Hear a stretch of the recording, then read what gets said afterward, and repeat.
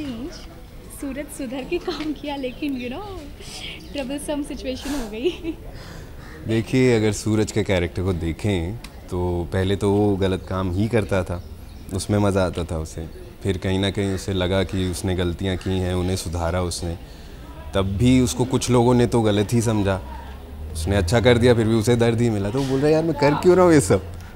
इससे अच्छा तो मैं पहले जैसा हो जाता हूँ एटलीस्ट मैं खुश तो रहूँगा। बाकी सब तो अपनी लाइफ में वैसे ही खुश हैं। अच्छा जेल चले गए थे थोड़ा कारनामे बता दो। अच्छे काम किए थे वैसे भी आपने ऑडियंस हाँ देखिए वही प्रॉब्लम है कि सूरज कुछ अच्छा भी करता है तो जैसा वो है उसे पता नहीं है कि उस अच्छी काम को कैसे किया जाता है। वो कर देता है उसके पुराने स्टाइल में जैसे एक बच्चे को कोई मार रहा था तो उसे बचा लेता चुपचाप उसको बोलता है अरे मत मारो मत मारो। लेकिन ये वहाँ गया उसने उसके बाप को मार दिया कि क्यों मार रहा है। तो कहीं ना कहीं जो ये कैरेक्टर है बहुत मुझे प्ले करने में बहुत मज़ा आ रहा है और अच्छा लग रहा है। सूरज वैसे कुछ बड़ी चैलेंज की भी बात हो गई थी मतलब एक ख़त्म नहीं कि दूसरा पंगा ले ले तो आप। हाँ एक्चुअली सूरज और चकोर का रिश्ता ही कुछ पंगे वाला है टशन वाला है।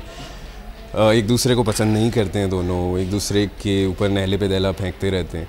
तो यहाँ भी कुछ ऐसा ही हुआ है उसने उसे शराब पीने से रोकने रुकने के लिए कहा। और वो कहता है कि नहीं, मैं पीऊँगा, तुम रोक के दिखाओ, अगर ऐसा किया तो वैसा होगा वैसा होगा। तो चैलेंज एक फेंक दिया, देखते हैं चैलेंज में कौन जीतता है।